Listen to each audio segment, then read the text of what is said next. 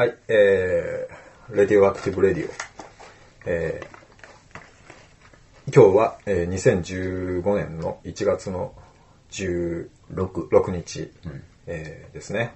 はい。はい、えー、富田貴文です。よろしくお願いします。あと、共生革命家をやってるソーヤー海です。よろしく。ろしくあの、ココナッツチップスを食べながらやるかはい。いいと思います。先ほどまでサーターアンダギーを食べてました。美味しかったね。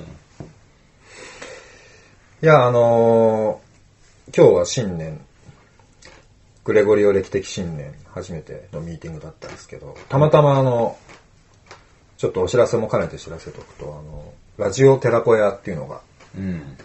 今度春分から始まって1年間あるんですよね。うんで、それが、あの、まあ、全国でいろいろワークショップとか、えー、なんだろう、いろんなガイダンスとかしているような人たちが、えーそれぞれこう講座を持って、で、それをこうラジオで聞けるっていう、そういうのをリリちゃんっていう子が始めて、で、カイ君も僕も、えーそこで、まあ、スピーカーの一人になっていて、で、今日はそのミーティングがありましたね。うん。賑やかなミーティングだったね。そうだね。すごい面白い。どうだった？うん。や、なんか不思議だったね。うん。なんとなく、なんか、は初対面なのに、すごい波長が合ってる、なんか前提であった気がする。うん。でなんかそんな感じで、だからなんか親しみやすかった？うん。そうだね。やっぱり変なもの同士だから、うん。結構その、それが居心地いいのかな。それもあるかもね。うん。そうだね。うん。うん。なんかさ、俺はこうマインドが動かなかったっていうのがすごくあって、こう思考があんまり動かずにそこに入れたって、いい意味で。うん。うん。ある意味それをこう、なんて言うんだろうね。それ、それ疲れって言うんだよ。いや、なんていうの、疲れであり、うんうん。その手放せとれる状態っていうのをリラックスできてる。そうだね。なんか手放せた感があるよね。うん。なんとなくこれはいい方向に勝手に流れるんだっていううん。感じがした。だね。だからなんかこう、ある意味で、まあ、わざわざさ、インターネットで、ラジオで発信するってことは、うんやっぱり伝えたいことがあったり、そうだね。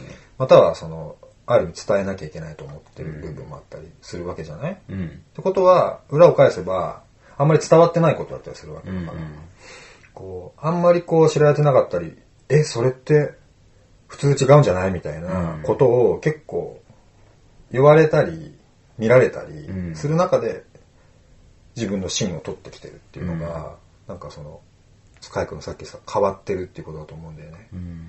そうするとやっぱりこう、初対面の人に対してジャッジしないっていうかさ、うんこう、なんか受け入れちゃうっていうか、流れを。みんながそういう姿勢でそこにいたから、すごい居心地よかったのかなっ。そうだね。うん。うん。まあ、みんな明るいしね。なんか明るいし、いろいろと自分の中と外を変えていこうみたいうんな。よくしていこうっていう、そういう人たちだったから。まあなんか、ね、楽しい、ちょっとした嵐みたいな感じだったね。嵐みたいな感じだった。でもやっぱりツボを押さえて、物は決まったね。うんいろいろ物は決まったし。ね。よく決まったよね。しかもなんか、進化していったよね。その集まりの中でさ、うんなんか、じゃあ収録、この話収録しようとか言って収録し始めて、これ映像に撮ろうとか言って、だんだんなんか、ちゃんと映像を撮る人も出てきて、うん。なんかいい、うん、なんか協力的な動きだった気がする。うん。みんなちゃんと役割を果たせてたっていう。うん。それ大事だよね。そうだね。なんかそういう知らない人といきなりなんとなくミーティングうん。に入って、で、なんかあんまりアジェンダもはっきりしてないし、うんうんうんうん。なんていうか、そもそもそういう感じでチェックインもしてないし、それでうまくいくってことは結構相当なことだと思うよね。そうだね。あんまりそういうミーティングってないよね。そうだね。で、楽しく気楽に過ごせて、結果も出てるみたいなさ、必要なものは出たっていう。そうだね。うん、それはもう本当理想だよね。まあそんなことで、うんその、もうすぐラジオテラコヤがスタートして、いろんな面白いそのコースを、俺は共感コミュニケーションとパーマカルチャーのうん。うん。なんかネットで1年間月1回講座をするっていうそういう仕組みでで寺子屋はそのまあ何人か自分の地域の周りの人と一緒に集まってそのラジオの内容を一緒に聞きながらそうやって話し合うなんか学ぶ集団みたいなそういうもんだよねうんうんでだからなんていうのただネットであの講座をやるんじゃなくてなんか本当にそのそそこから出てきた種をちゃんと植える部分までの仕組みが考えられてる、うん。うん。面白いすごい面白い実験だと思うよね。そうだね。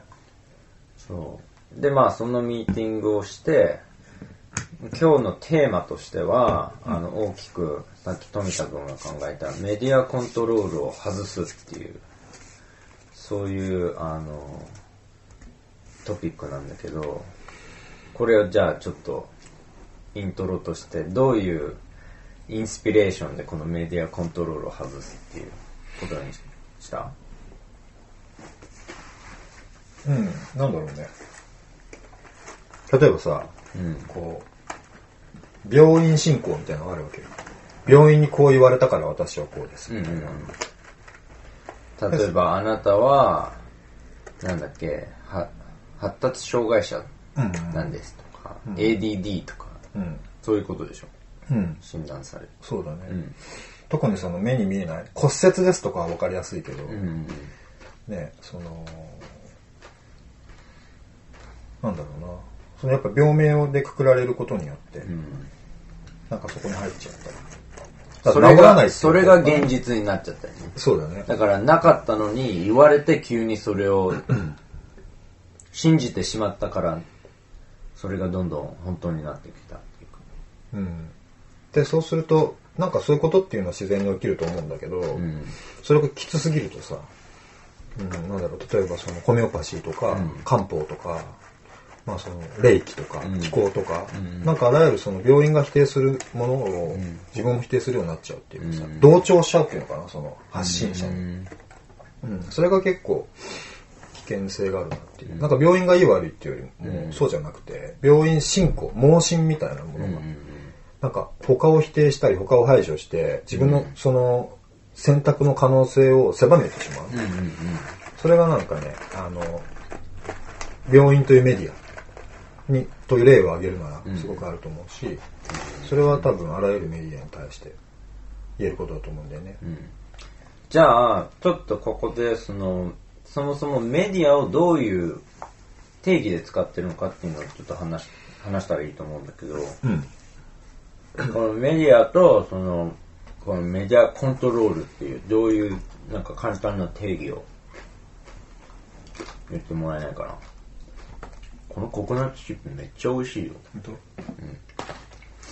当？うん。カイ君というメディアを通じてやってきたココナッツチップス。うんプロモーションの言葉もありましたね。ここで例えばカイ君がココナッツチップスはめっちゃ美味しいと言ったと。東京アーバンパーマカルチャーのココナッツチップス。今販売中。CM が入りましたね。で、これがね、うん例えば、うん、明日会った友達が、いや、最近さ、ココナッツチップスっていうの食べてさ、めっちゃ美味しかったんだよねって言うじゃない、三 ?3 人言われたらね、近日中に、それが現実だと思うっていうかさ、これが流行またはってるみたいな。買うっていう行為にすごいこう走っていくとかさ。なんかその、メディアっていうのは今、なんだろうな、例に挙げたような、うん。うん、いわゆる広告媒体みたいな形に実はなってるっていうかさ、その、客観的に情報を伝えてるもの、うんうんうんだけではなくて、うん、やっぱりこういうふうに考えてほしいみたいな、うんことを元にして、うんそれを達成するためにいろんな表現をしてるっていうかさ、うん行動を促してるみたいな。で、その、具体的にメディアっていうのは、どういう定義？僕の中では媒介とか媒体とか、媒体？うん、何か物と比か現実ニュースと海君をつなぐものとか。例えば辺野古で今何が起きているか。うんというその現実とうん。それを伝えるものと受け取る海君みたいな。さ東京にいても今辺野古でその工事だからそ伝える媒体。とかね間に入るもの。間に入るもの、うん、はいはいはい。うん、まあそうだね伝える媒体。で、まあ、この文脈だと情報だよね。うん。具体的には情現実をうん。なんていうの現実の捉え方を影響する情報だよね。そうだね。ジャーナリズムみたいなのに近いかな。まあジャーナリズムとかに普通のニュースとか何でも。うん。今広告の話も出てたし。うん。はいはい。そこはうん。なんだろうねメディアって間に立つものミディアムって言葉から来てるって聞いてて、そうだね。なんだいいよね。いやなんかさ思うんだけど、こう同じテレビ見てても、うん。新聞見てても、うん。そのメディアコントロールみたいななんか猛烈な信仰心みたいなものを外した状態で客観的に見れてるとなんか例えば具体的に言えば読売新聞とかさ、うん。読んでても腹立たないっていうかさその、読売新聞というその立場は、うん。この現実をどう伝えてみんなにどう思ってほしいと思ってんだろうなみたいなことを読み解くには結構有効だったりさ、うん。うん、でもそこの新聞に書いてあることが現実でなんか新聞に載るって素晴らしいみたいなさ、うん。あるじゃんそういうの。なんかそれが完全に現実になっちゃってるとやっぱそのメディアに触れ続けるっていうのがその人の価値観とかライフスタイルにすごい影響を及ぼす、そうだね。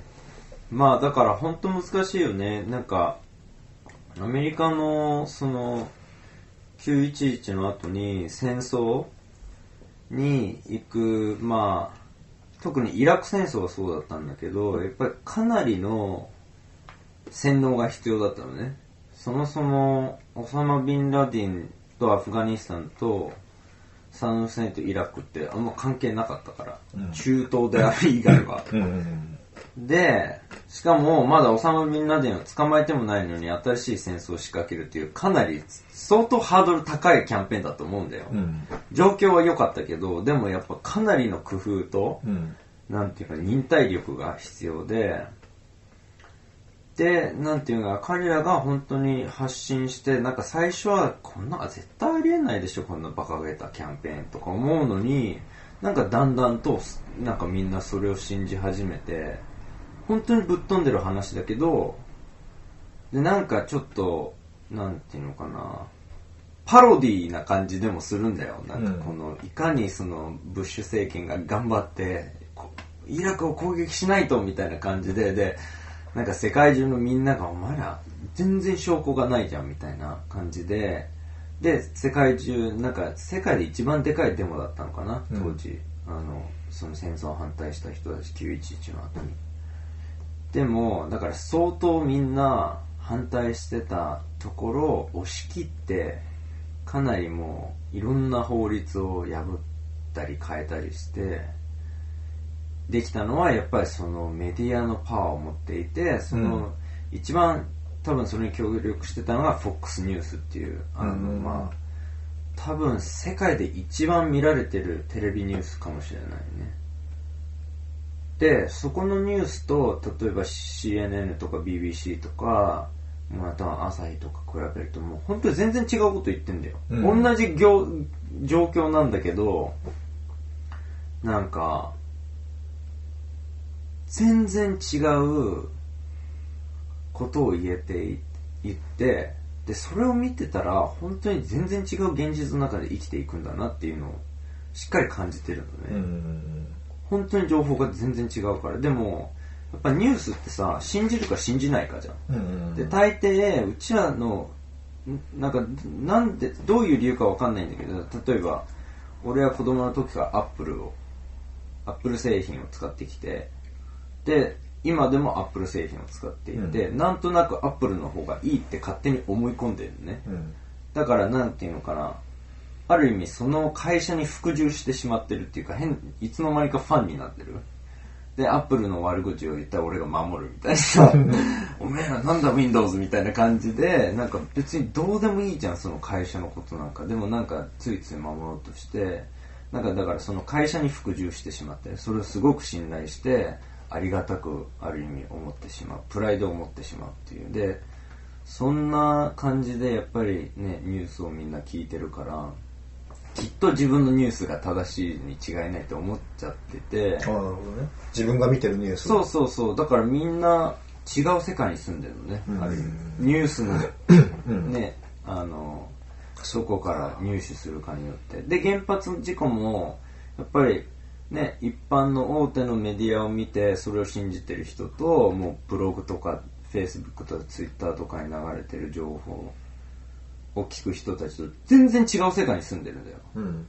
だ一方では原発事故が大したことないみたいなさ、もう一方ではもう福島はなんかブラックホールになってしまったみたいなさ、なんか、なんかぜかなり極端なことを両方言ってて、で、それをどっちを信じて聞くかって全然違うからさ、なんか本当に、これだけパワフルなものなのに、そこを客観的に見ている人たちが少ないっていうところが、うん。うん、結構不思議だし、うん。なんか恐ろしいなと思うね。うん。やっぱり自分が信じてるニュースが必ずしも現実ではないってことを常に頭で言い聞かせてないと、うんついつい彼らのレンズに染まってしまう。うん。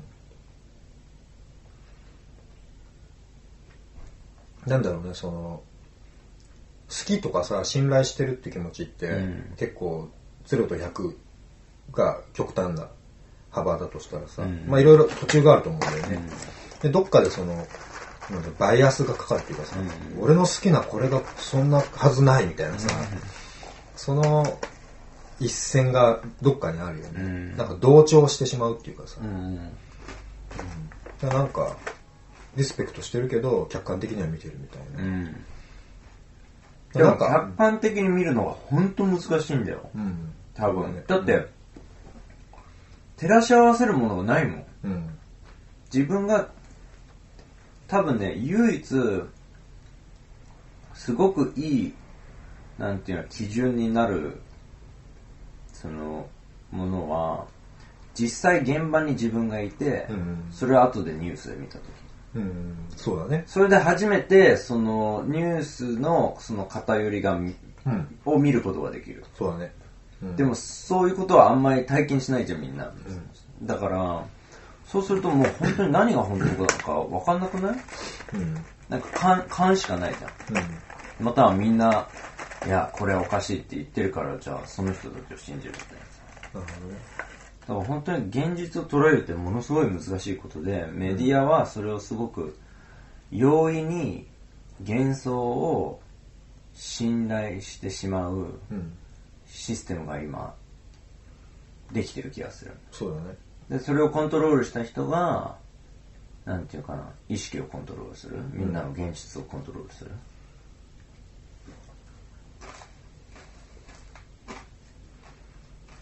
なんか一つ思うのはさ、うん、そうだな、例えば、今、今リアルに沖縄の辺野古で、うんね、強工事を強行する人たちと、それを止めようとする人たちがいて、で、俺も山口の上関でそういう現場にいたからさ、毎日その新聞で出てくる報道とかテレビで出てくるニュースと現場、うん。ギャップを見てきてるから、すごい思うんだけど、うん。なんていうのかな。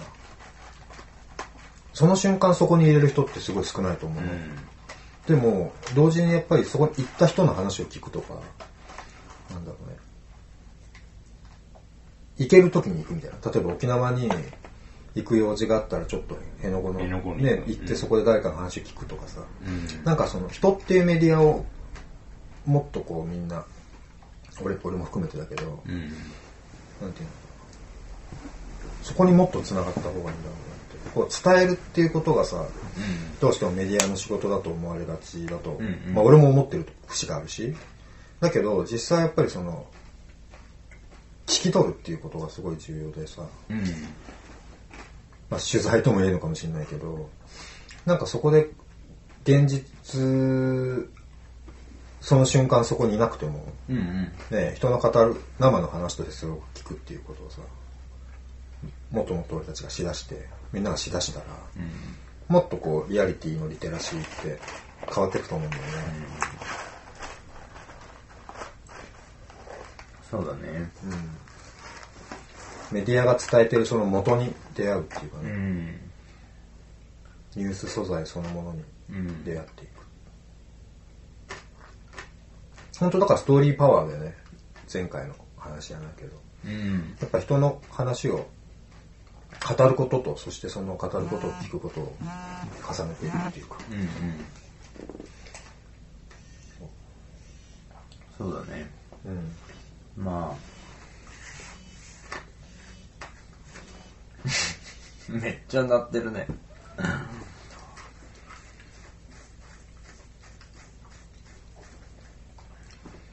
じゃあどういう方向で進めようかいくつかまだ subject があるけど、この辺？うん、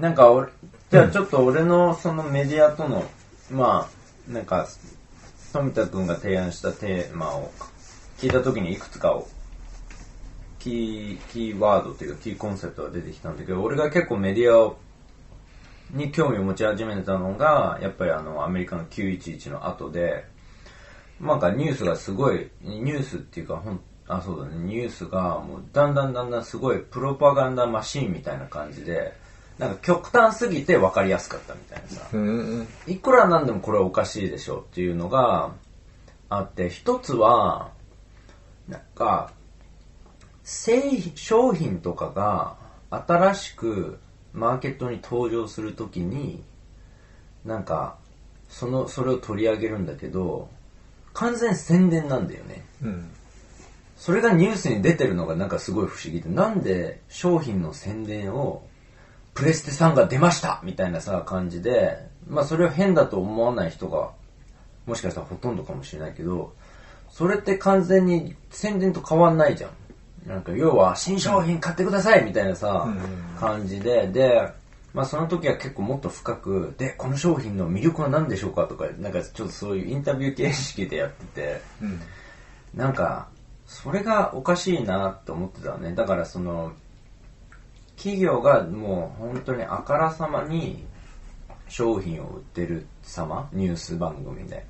プラス、やっぱりこのプロパガンダっていう、なんかそれを、なんていうのかな、それに気づき始めて、これやばいな、みたいな。だってそ、それまで気づいたことなかったんだもん。すごいなんか CNN をいつも見てたんだけど、まあ CNN はきっといいニュース会社に違いないみたいな、FOX じゃないからみたいな感じで見てたんだけど、で別にどうでもいいわけで CNN なんか、でもなんかい、なんかいつの間にかもう服従してるみたいな、俺は CNN みたいな感じになってしまって、なんかその、情報の偏りとか、その本当に、操作しちゃったらもう言いたい放題だから、で、それにもう自然に自分が影響してる。だから、プレステさんなんか全然興味ないのに、プレステさんのことをよく知っているみたいな。いつの間にか。なんかそれが嫌だなって思ってて、まあその時にいろいろちょうど、まあ反戦運動とかやってたんだけど、その時に結構そのインディーメディアっていう団体と出会うようになって、彼らはいつもなんか、まあ一般市民の人がメディアになって、インディーメディアっていうサイトがあって、それが町単位と州単位と国単位と世界、まあ世界中にそういう感じで、日本、東京もあると思うんだけど、それでもうその現場の、まあちょっとどっちかっていうと左翼寄りなんだけど、その現場の状況を全部報道するみたいな。え警察に鎮圧するあの座り込みをしてた若者たちとかなんかそういうでもちょっとメディア風に書いてあるんでちゃんと記事にして、なんか具体的な数警察が何人でどういう目的でこの人たちはいたのかっていう。そういうことをやっててでそこの情報源はすごい面白かったんだよ。で結構俺現場にいたからその現場のニュースが出ていてなんかあこれで結構熱くメインメディアとか言ってた学生がいっぱいいたからなんかこれってすごいパワーあるなみたいな。この動いてる学生たちがみんなインディーメディアを使って見てたらあやっぱりすごいその団結力を作りやすいなと思って、同じ現実を共有してるから。で、メディアもなんか、誰でももうウィキペディアみたいな感じだから、もうみんなで作るメディア。で、まあ一応編集者もいて、なんかチェックする。あんまり偏ってないとか、あの、いたずらじゃないとか。だからなんかすごいそれが面白くて、で、そこからまたもっと面白いのが、なんかパイレット・ラディオっていうのを友達がやってて、もともと大学のラジオ DJ だった人が、あの、こっそりシェアハウスの地下にラジオ局を作って、あの、まあ、違法に自分たちのララジオやってたのね。で、ちょっとインディインディメディア風で、あの、その、活動家の話とか結構まあ、左翼寄りの、そういうニュースを発信してたのね。で、その FCC っていう、その、なんていうの、ラディオウェーブスってなんていう？あの、電波？ラジオ？電波そうそうそうそう。電波を規制するアメリカの連邦政府の部署があるんだけど、その人たちがいつも探してるので、ん。なんかここら辺から出てるらしいみたいな感じでで上なんか電波とになんかまあなんかよくよくわかんないんだけどなんとかいろいろ機械を使うと見つかるのね場所が。で最後になんかもう取り締まりで乗り込まれてあの機材没収みたいなあねなんか罰金いくらとかになってちょっとあの刑務所にも入れられるのかな数日。でもまた 機材買い直してまた新しい場所をやってそういうことをやってたのね。なんかそういうところがすごくこのなんていうのかな自分たちのメディアを作って自分たちでそれを守る。うん。それを熱くやってる人たち、うん。でその情報を俺が聞いてやっぱり世界観ができていくっていうこの組み合わせはすっごい面白いし重要な気がして、うん。やっぱりなんかね現実は捉え方の問題だから、うん。やっぱりどういう捉え方をしてそれをいかに共有していくかっていうことはすごくその活動する面では欠かせないと思うよね。うん。でそれをなんていうのかな広告と呼ぶのかプロパガンダと呼ぶのか、うんその正義のための正しい情報と呼ぶのかなんかその基準は結構難しいところだと思うんだけどうん。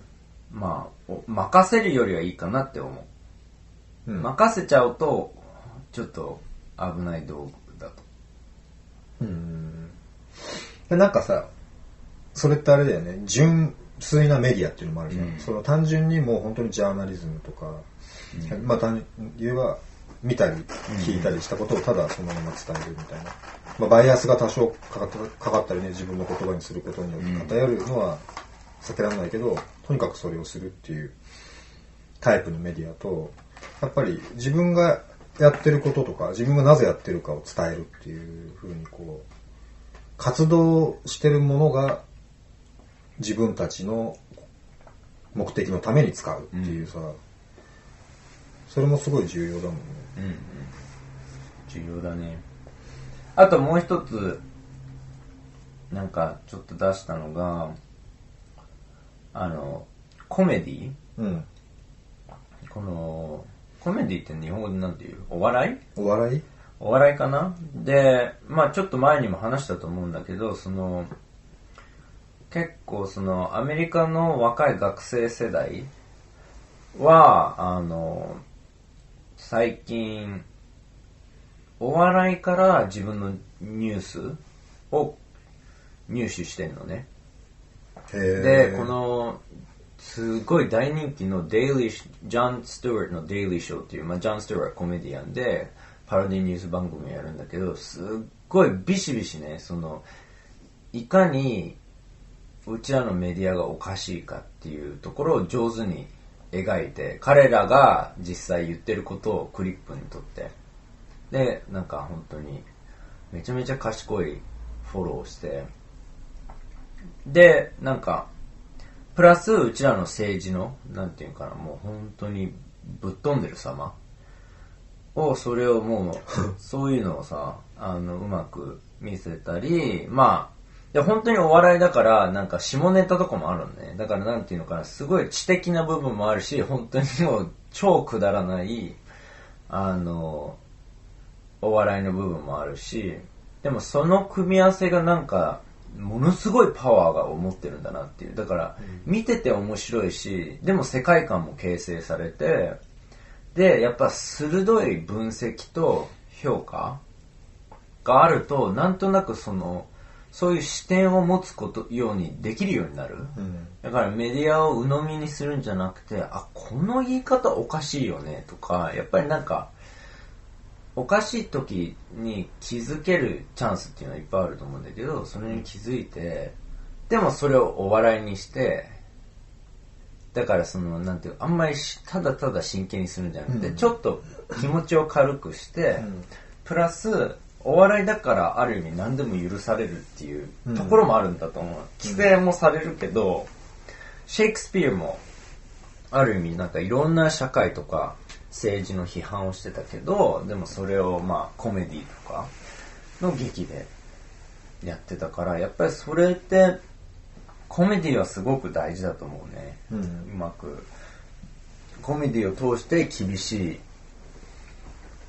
政治の批判、うん。メディアの批判をやっていく。うん。まあ日本だとアメリカほどは派手にできないかもしれないけど、爆笑問題もなんかこの前規制されたとか言ってなかっ本当？た。うん、なんか紅白かなんかで誰かが言ってた。紅白で結構政治のこと、政治的なことを言おうと思ったら、ダメって言われたんだって。紅白で？かなそんな中年末年始に行われるうんあんま見てないかもわかんないけど。あそうですねそれもあってそのテレビをなくしたのがうんうんうん大学3年生ぐらいの時なのね。それが911の後ってこと？そうそうそう。でずっと CNN とか見ててうん。当分、でもなんかテレビって恐ろしいなって気づき始めてなんかなんか吸い込まれちゃうんね。ついてるとなんとなくそれが広告であろうが番組であろうがなんか吸い込まれてる自分がいて、でなんかずっとすごい真剣に広告を見てるみたいなさ。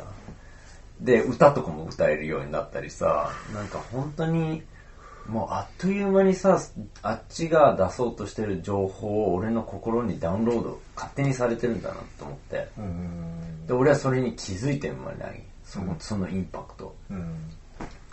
でまあニュースのこともあって、まあ、テレビをやめることにしたのね。で大体お金取られるしさなんなんなの？なんか俺を洗脳して なんで俺がお金を払わないといけないのみたいな。俺が金もらうべきでしょ。っていう。なんか T シャツとかもあるじゃん。ブランドだけ書いてある T シャツでさそれ完全宣伝じゃん。もう工夫もしてないの。ただブランドの名前が付いてるシャツとかいっぱいあるけどさで1万円とかかかるやつとかさアルマーニとかさただのシャツやん。アルマーニって書いてある。それに1万円とか払って。なんか結局宣伝なだけだからなんかそういうそういうおかしおかしさに気づき始めた。うん。なんでうちらが宣伝されてるのにとか宣伝してるのにお金も取られてるみたいな。でまあテレビをなくすことによってなんか多分もうかなり大きなそういう生活の変化だよね、うん。テレビの情報を得なくなるってことは。で友達とかとのつながりも変わっていくと思う。うん。やっぱり話せる話題も違うし世界観もそもそも違うから、うん。政治の話とかになるともう何にも進まないよね。うん。お互いなんか自分のニュースメディア先の証拠で攻めるからさ、でお互い聞いたことない相手の証拠。うん。だからなかなかやっぱねこのどうやって自分がメディアと関わるのかとそのメディアの多様性。うん。でその多様性のなんていうの長所短所みたいなさ。でうん。実は本当に結構いろんなメディアがあって、うん。でそれをどれどれに服従するかによって全然世界観変わるっていう。うん。そこは結構やっぱしっかり意識することは大事だと思うね。そうだね。うん、なんかこうさ、メディアになる機会を持つっていうのもさ、まあそれ、もうそれは本当になんか、ね誰もができることじゃないけど、うんうんまあ思うことはあるね。例えば自分がこう、例えばイベント会場に行って、うん。で自分のための記録で写真を撮るのとさ、うん。こう、何か記事を残すためにうん。撮るのが全然その、もう、会場にいる居方が変わるじゃん。全体を把握したり何人ぐらいいるんだろう光がどっちから入るとかさ、なんかその、うん。そういうことは思うな。こうん。なんか自分が、わかんないけどさ、川柳とかさ、それこそ、日本のお笑いじゃないけど、まあユーモアを持ってこう風刺するみたいな。川柳歌があるってお笑いがいるの？うん、川柳っていう、なんていうのかな。歌の種類があるんだよね。俳句とかさ、はいはいはい。あるじゃん。それの一つで。うん川柳っていうのが五七五かな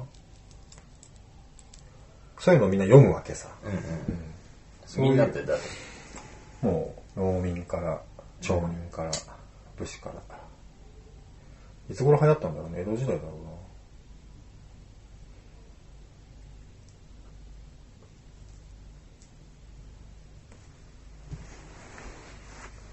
まあ、なんかこう、自分で歌を読むみたいなさ、結構、メディアのことに関して一つ思うのは、なんかこう、クリエイティブなことじゃん？ある意味そのメディアをするみたいなことって。うんまあ、クリエイティビティみたいなものを、こう、育てにくい社会になってるというかさ、消費をして、労働をしてみたいな。まあそのクリエイティビティの領域を独占してる人たちがいるうん。独占っていうかそうだねある意味独占してるよね。特に都会にいるとそう思ううん。もう徹底的に想像する側はいつも商品を売る側うん。で残りの人たちはそれに刺激されてあこれいいあれいいみたいなんかそこが変わるのと、メディアが変わるのは、なんかすごい連動していく気がするし、なんか連動してる気がするよね。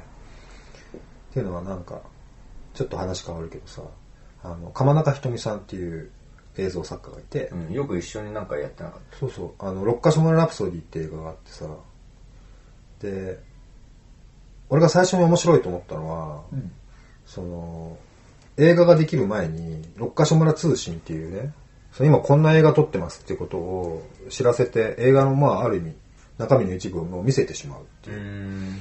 60分ぐらいで。それ、1、2、3って出してから映画出したの。うんうんうん。で、その手法がすごい親切なメディアだなと思って。すごくその自分がある意味映画を撮りながら試行錯誤したり、試作を深めていく様を見せていくから、みんなも自分で考えるようになるっていうかさ、うんうん。で、本当にそのいろんな立場の人の話を聞こうと努力してることが、映画見てもすごい伝わってくるの。だから俺は本当すごいメディアでありジャーナリストだなと思って、うんうん。で、なんか、うん、みんなが、やっぱり思考を促してんだなと思ったから、まうん。あ、そうやって書いてあったしね、彼女のことが。うん、なんか、上映会を、例えばさ、20人とか30人の規模の上映会をやるっていうこと自体が、ある意味その人がメディアになるっていうさ、主催者が。うんそういうメディアのあり方があるんだなっていうのが、その、映画を見た時のインパクトと同じぐらいあ、インパクトがあって、そっか、こうやってみんながメディアになれるんだ、みたいな。で、みんながそこで話し出す映画を見た後に感想とかをうんみんなで輪になって話す。うんそれももうすでにメディアだし、それをした人たちは、こう、なんて言うんだろう。ただ黙って、ある意味その、ディスプレイで映画を一人で見て、何か感じた後に、友達に伝えられる、その熱よりも、なんか上映会を主催してとかさ、なんか映画の、映画の後に自分の思いをみんなでシェアして、その体験を仲間に伝えるっていうの、うん熱量が全然違うっていうか。うん。だから、なんかそういうふうに暮らしの中がどんどんクリエイティブになっていくみたいなことと、メディアの多様性がどんどんある意味活性化してうん。いくっていうのは、なんか今もうすでに連動して起きてる気が。そうだね。そう、で、この、なんていうのかな、その、まあ、クリエイティビティの楽しさとか言ってたけど、俺にとってやっぱりそのメディアを作るってことは、現実を作る人になるってことだと思うんだよ。うん。だから、まあ自分のストーリーを作っていく。でも、やっぱりその広がるメディアを使うと、インターネットとか、まあラジオとか何でもいいんだけど、やっぱりそのある意味その自分の現実をより多くの人たちと共有して、彼らの現実の形成をうん。していくってことだと思うね。だからそれってかなりのパワフルなことだし、うん。なんていうのかな。まあそれをやっぱり意識的にやると、すごい現実が作れると思うんだよ。うん。例えば俺の場合は本当にみんなが大事にされる世界を求めていて、そういうストーリーを広めていきたいし、それが可能で実際、あの、いろんなところでは存在する。うん。ずーっといつもいろんな全てのところで存在してるわけではないけどだからなんかそれを存在してるって俺は信じてるしそれのストーリーも広げていきたくてそれを例えばまあこれから本を出版するけどその本でなんか出るとなんとなく本ってなんかうん。本に書いてあるとみんな信じてしまう傾向ってあるじゃん、なんかだからそういうことができるっていうのはすごいことだと思うんだよね、うん。ただの一般市民としてさ。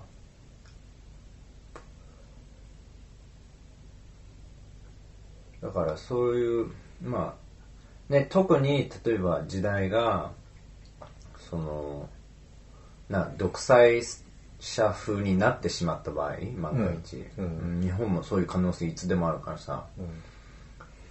そういうとこにそういう時にちゃんとミメディアリテラシーがあってそのメディアの作り方、うん。活用の仕方をしっかり知っておくってことは本当大事だと思ううん。かなりのセーフティーネットだろうそれがあるのとないのでうん。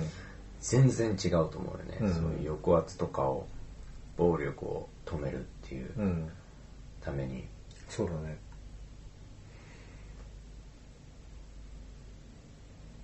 よくそういう政府のあのスピーチの弾圧がある時になんかあの違法新聞とかうん昔は結構流行ってたみたいで世界中でうん。でやっぱりそのそれも大事だと思うんだよやっぱりネットの方がコントロールしやすいと思うんだよある意味うん。でもそのね紙媒体でさ、うん地域で配ってるような感じそういうことができると結構なんていうか重要な糸口うん。それは俺も思う。うん。特にそれ物だからさ、その、手渡された。で、読んでもらったっていう、その、連絡網みたいになってくんだよね、多分それが。なんか俺も今、風紀工房でさ、風紀月報っていうのをさ、月報？月ごとの、を不定期で出してんだけどさ、やっぱずっとやってると、なんか、いつの間にか自分が考えたりやってることを理解してる人がすごく増えてきたりとか。ああそうそうそうそうそう、うんでそういうそれを求めてる人たちも周りに集まってきたりするからさうん。やっぱり物として、うん。で、要するに簡単に言えば電源入れなくても見てもらえるもの。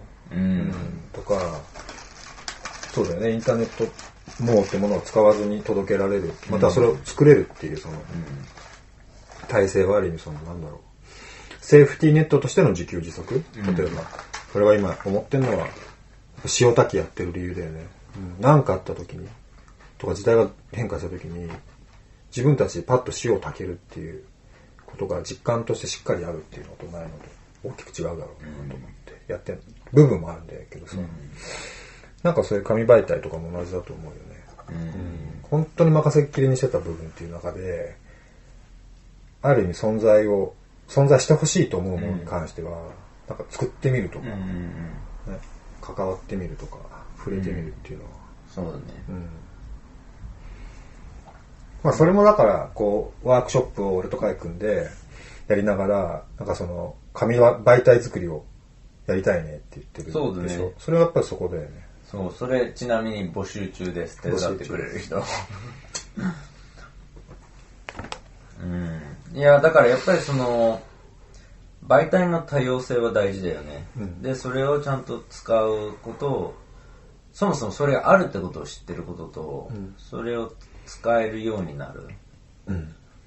ていう、全然本当にメディアを活用できるのとできないので、ね、そこから進んでいく現実って違うから、うん。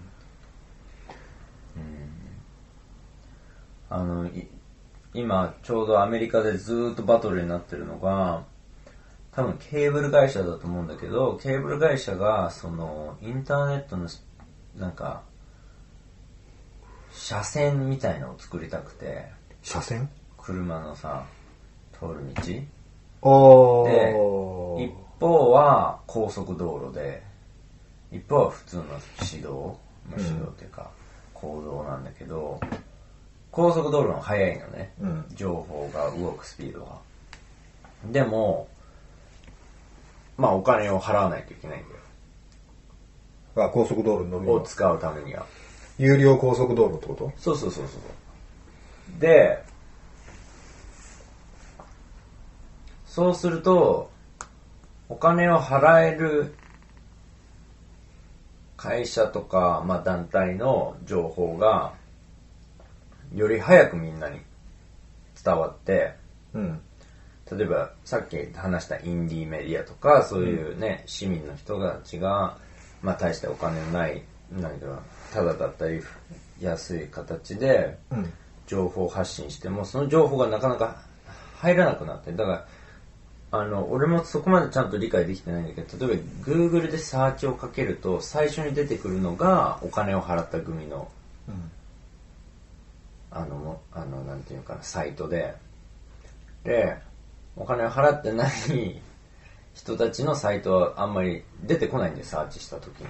えー、でも今すでにそうなってるのうん、いは、今どうなってるかわかんないけど、一応、多分、ルール的にはそれをやっちゃいけないよね。うんで、その、その法律っていうか、その規制を変えようとしてんの、今。今、まさに。それはもう法の世界の話？そう。へえそう、法の世界。で、それをやってもいいよって。で、すっごい、なんかお、おか、結託してるから、だからそのメディア会社の人たちがメディア規制の部局に入るのね。だから規制とかしないんだよ、あんまり。てかむしろ規制をどんどんどん解除していくのね。うんっていう、まあアメリカの政治の世界、日本もそうかもしれないけど、そういう状況だから、なんか結構あ危ういっていうか、でもそう、だから、これ多分ほとんどの人も知らないよね。うんで、例えば、まあある日ニュースで、はい、じゃあそのルールは可決しました。うんこの子から、その高速の有料の、あの、回線と、いまあ今までの回線でももうちょっとゆっくりなる回線が、になりますってニュースが出て、で、翌日からそれが行われるようになって、で、いつの間にかし、なんか、あもら、今度は通ってくる情報が変わってきてるけど、別にそんなわかんないわけじゃん。なんか変わっそう、変わったっていうことがわかんないわけじゃん。であっという間にみんなどんどんそこに洗脳されまたもっとさらに洗脳されて、うん実は原発事故はもう終結したみたいなさ。で、何百リンク見てもみんなそう言ってるみたいなさ。マジで？っていう、そう、そういう恐れがあって、今そのバトルをしてるの。でも、なんか、富田君もさっき言ってたと思うんだけど、うん。なんか今その、今ちょうどなんかある意味ピークに達して、この自由さ、メディアの。うん。で、ものすごくパワーがちゃんと世界の人口に分散していて、今までにない、うん。もちろんなんかアフリカの人とかの情報はほとんど入ってこないから結局格差はあるけど、うん。でもあの基本的には結構バランスが取れてる状態だと思うのね。うん。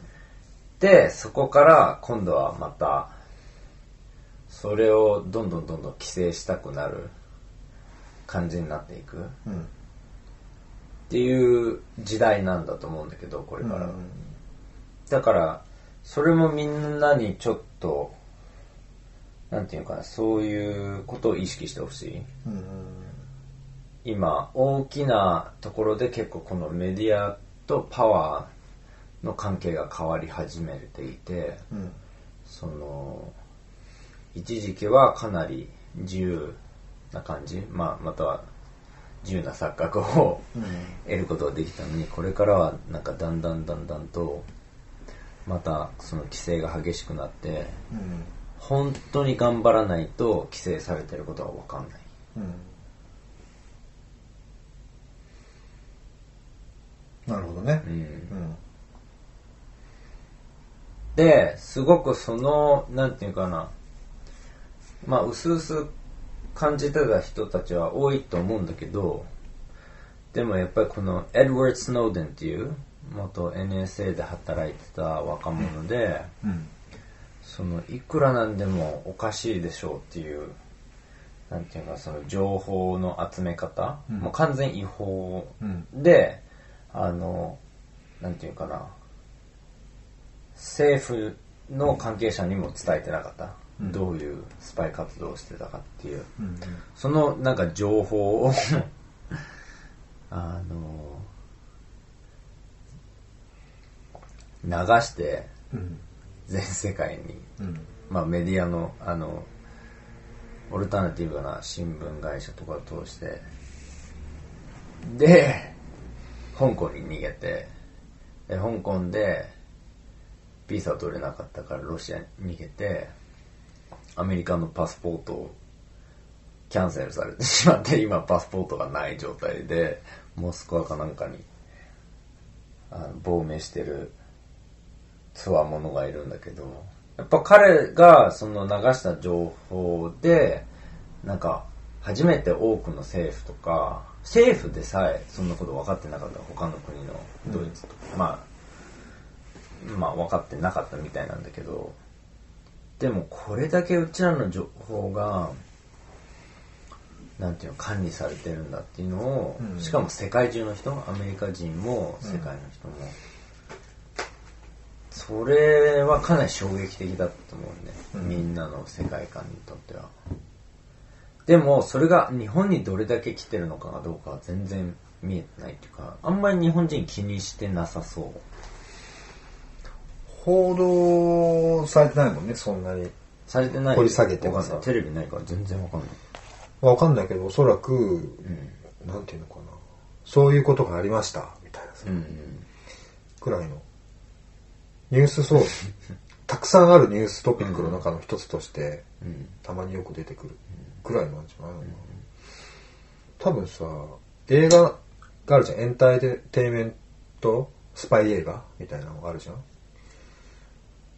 ああいう中でさあれぐらいの話って具体的なその中身とか抜きにすれば起きてたりしてさそれぐらいのことに捉えててあんま掘り下げてないじゃん、わかんないけどあんまり変化した気がしないよね日本の社会が、そう。でも彼は本当のヒーローだと思う。なんかだってまだ20代だったと思うよ。20代でそれだけだって自分がもうアメリカ政府から、ね、狙われるなんていうかかなり最も政府にとっては重大なことをやってしまって。うん。でも本当になんていうのかなこれはやっぱり放っておけないって。うん感じてやったところがめっちゃかっこいいわとか思うね。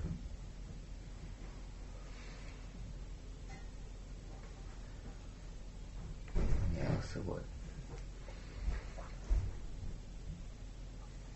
なんかアメリカは原発のことでもさローレン・モレさんっていう人は確かアメリカでもともと核廃棄物の高レベル放射性廃棄物の処分とかの研究してたのかな、うん。ちょっと忘れたけど、うんいろいろ気づいてしまってみたいなところで、まあ言ってみれば亡命じゃないけど、うん。うんあの世界中でその現実被爆のこととかの現,、現実を伝えて回ってんだよね、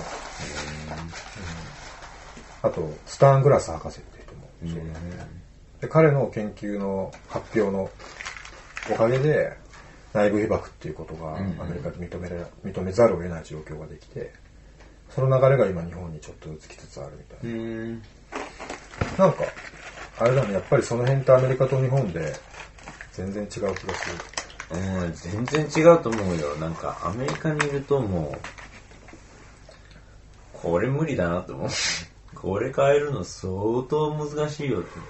動いてる金の量が違うの。で、でももう一つ違うのは、日本人の方が服従するから、うん。そんなに過激なことしなくてもいいんだよね。うんうんうんうんうん結構まあ、ね。おかしくても耐えられる生き方をずっとしてきたもんじゃいろんなおかしいことに反対しないっていう、うん。そういうトレーニングを受けたから、自分が結構悪く扱われても、なんかいじめ、いじめとかあっても結構なんか、まあ、普通みたいなさ、いつもあることうんっていう感じで、なんか結構その、おかしいことに、おかしいって言えないうん人たちだと思うんだよ。うんまあ、そう言ったら結構ひどいか。なんかそういう傾向がある。うんあの、社会として。だからそうするとあんま頑張らなくても、どうせメディア様が言ったら、まあ信じるみたいなさ。うんでちょっとおかしくてもまあいいかみたいな。っていう、なんかそれがあるから多分アメリカほど過激なことはしない気もする。うんでもやっぱ動いてるお金が違うし、うん権力のレベルも違うじゃん。うん。アメリカと日本だった。ら、アメリカのやったことって大体もう本当にめっちゃ世界に響くからさ、うん。恐ろしいよね。うん。でも服従っていうのはあるだろうね。なんか自主規制とも感じるんだけどさ。でも自主規制もやっぱり服従だと思うんだよ。うん、そうだよね。うん。あのノーム・チョムスキーってアメリカの、うん、大好き。う。ん、彼が彼の本の中でさヘンミヨーっていう日本のなんだ作家？ジャーナリスト、う。うん。ん、ヘンミヨーさんが、うん。まあ、インタビューしてんだけど巻末で。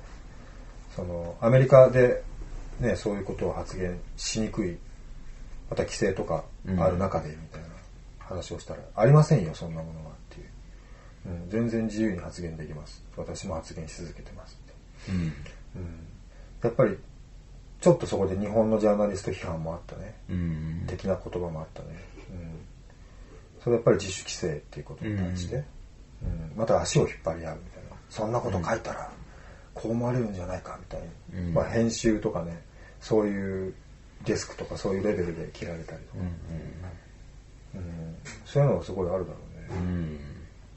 結構、それってなんかビビってる感じなのかな？ビビって自己規制してるのか。まあ様々だと思うよ、またはなんか調和を保つために自主自主規制とかさ。とかね出過ぎないように、うん。あるのかすっごい微妙な立場だよね。なうんだからみんなが聞て聞きたくないような本物のニュースを本当に追求して、うん。でもそれをなんか言えないみたいなさ。うん。なんか俺は原発事故のさ、うん前からよく新聞で原発に関する記事をチェックしてたからさ、うん。なんかその震災後の各新聞の変化っていうの見てて面白かったんだけどさ、やっぱり見てるとこの記事はなんていうのかな本当に原発のことに関心がなくて、うん。情報もなくてそれで事故を迎えてすぐだっていう状況だったら書けない記事だなって思う記事も結構あったんだよね、つまり本当はすごい勉強してたし状況も追っかけてたけど記事にできなかっただけだったっていう記者が一気にその書ける場を持つようになったみたいなさ、そういう変化はすごいあったよね、だから、もうそろそろ1時間なんだけど、多分、締めに入らないとうちらのオタクトークが永遠と続いてしまうね。まあ別に、聞きたければ聞いたらいいと思うんだけど、うちらは別に、マイナスになるものはないからさ。うん俺もさっき気づいたんだよね。うんあ、このペースだと、永遠。ダラダラいくな、みたいな。で、ふふとその、なんか、ダラダラ話しているラジオって、うん。まあ、なくはないかったかもなともちょっと思って、まあ、いっかと思ってたんだよね。いいんじゃない？まあいろいろバラエティのは。だって別に、みんなどれだけ聞きたいか選択できるわけじゃん。うん。そうだよね。かけっぱなしでなんか違うことをしてだから。最初の1分でもうやめた人もいれば、ここまで聞いてる人もいるし、うん。何も問題ないと思うよ。うん。なんだっけ。そうだね。まあ今日のテーマは、メディアコントロールを外すという。うん。まあこれは単純になんか、二人で会話してる中でパパッと浮かんだ言葉なんですけど。そうだね。なんか60年代もこれがあったよね。なん、なんだっけ？tune in, drop out とかなんかそういう言葉があって、とりあえず今までの情報、うん。主流の情報、っていうか主流の世界かな？から抜けて、本当に何が起こってるのかに、の、なんていうのかな、そこにスイッチを入れようみたいなさ。で、そういうことだと思う。そのメディアコントロール、既存の現実を作る、うん。うん組織からちょっとずつ離れていって、うん。で、本当の現実を捉える冒険に出る。うん。だからある意味、まあ、修行だよね。うん。うん。だから、なんかメディアの会社に服従した方が簡単じゃん。もう、読売を信じるとかさ、朝日を信じるって決めたら、もう楽じゃん。それでもういちいち情報を疑わずに、OK、こうこういうことなんだ、今、世界は、みたいなさ。でも、それをちゃんと疑ったり、いろいろと分析するようになると、結構、大変っちゃ大変だよね。うん。なんか気楽に信信じることができなくなっちゃうから、常にこれは本当なのかとかさ。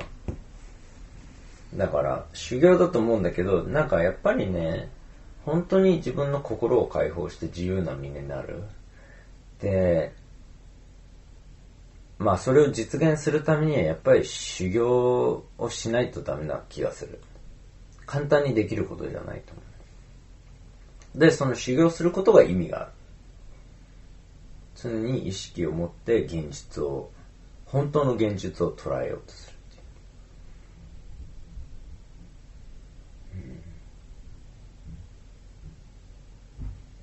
うんまあだからそういう修行をみんなでやって、お互い、あんまり一つのメディアに執着しないようん。そうだね。うに、うん、助け合うみたいなさ。助け合う。やっぱりみんなで、ね、みんなで真実を捉えたらさ、協力し合えると思うんだよ。うん。みんな、なんか、お互いの妄想を信じ合えない人たちで形成されてる社会だとさ、すごいなんか、効率悪いっていうか、うん。物事が進みにくいし、し対立が起こることが多いのかなっていう。うん。そうね。なんかさ、今日のミーティングの話に戻るとさ、うん。ある意味その、ラジオで講師をする人たちはある意味メディアうんだったりするわけじゃん。まあ自分のやってることと同時にそれを何か伝えているみたいなさ。なんかそういう人たちをまとめたリリちゃんっていうかラジオ寺子屋みたいなさ。なんか一段今変化が起きつつあるみたいなものをすごい感じたね。そのミーティングがすげえスムーズにいったのも、うん。やっぱりその、なんだろうね、共生の方向に向かっているっていう明確なうん。コンセプトの中での編成みたいなのがですね、うんやっぱりはっきりしてるっていうか。だからなんか、ちょっと俺今日話してて、ふと思ったのは、例えば NHK とかってあるじゃない ?NHK というメディアで資本元、それは国、政府だったりするみたいなさ。うん。で、いろいろ番組があるじゃん。なんかレギュラー番組とか何十年もやってる番組とかいろいろ、でそれぞれ番組制作会社とか NHK の中のあるグループが作ってたりするわけじゃんでそのなんかそのある制作グループと番組みたいなものを、まあ、俺たちは一人一人やってたような気がするんだよね、うん。うんそのどんなメディアかっていうと自分たちのやってることや自分たちの伝えたいことを伝えるメディアをある意味番組のようにやってて。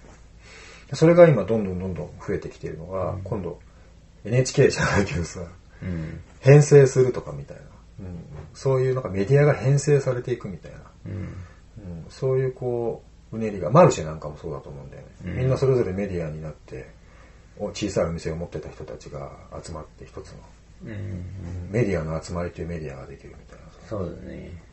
それはこうもうメディアコントロールを外すっていうところを超えたところだと思うし、まあ、そこがなんか今来てる来てるというか今そこの波っていうものをすごい波に乗ってもいいし、そういう波が流れていく土台を作るみたいなうん。こともいいだろうし、うん。うんそのイメージをキープするでもいいだろうし、うんなんかそういうものをすごい感じるね。うん外れていく流れもあると思うしね。うん。そうだね。まあ、じゃあそんな感じでいいんじゃない？いいじゃないですか？なんか一くくり、くくり。はい。うん。不定期ということではい、そうですね。超不定期で。はい。超不定期だし、あの、かなりオタクな感じの会話なんだけど。そうですね。オタク化してきてますね。いや、でも活動オタクって楽しいよ。うん。